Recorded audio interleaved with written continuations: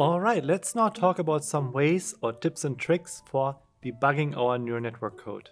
We will start with a fast developer run to make sure everything works correctly before we do a more expensive real training run. So let me show you some code here where we are using elements that we covered earlier in Unit 6. So we have our custom data module here, the PyTorch multilayer perceptron, our lightning model, and of course also the trainer down here. So we are training this for 100 epochs and then we are of course yeah also evaluating our model.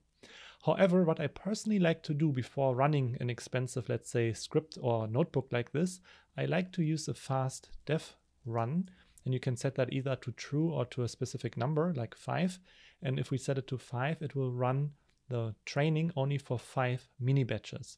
And this will help us to find, let's say, mistakes in our notebook before we run it for, let's say, 100 epochs, which is way more expensive and takes more time.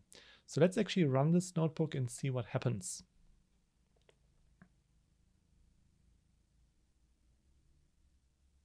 So yeah, you can see it will run it only for five batches here. Um, it will also suppress the logging and checkpointing for simplicity. And then let's look at the results. And we can see we get a test accuracy of 1.0 here. So that tells me there's maybe something fishy because the network shouldn't be that good after only five mini batches. So I go up here and there's actually a mistake here in my test step function. So I introduced a mistake. Let's change that to true labels and run this again. So now it should actually not be 100%. So if we get 100% test accuracy, it's almost always a bug somewhere, something fishy. So this way I can run this again and see if the number makes more sense. Yes, this makes more sense. So this is like a very quick way of debugging things, just making sure everything runs. And then of course, after that's done, I like to remove this and run this regular training loop. So I would then train it for my 100 epochs and hopefully everything would look okay.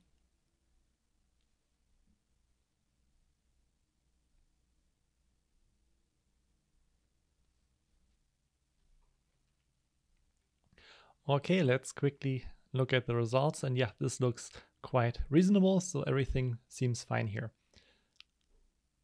So in this notebook, we saw a simple way of debugging a notebook before we actually run this in a more expensive manner.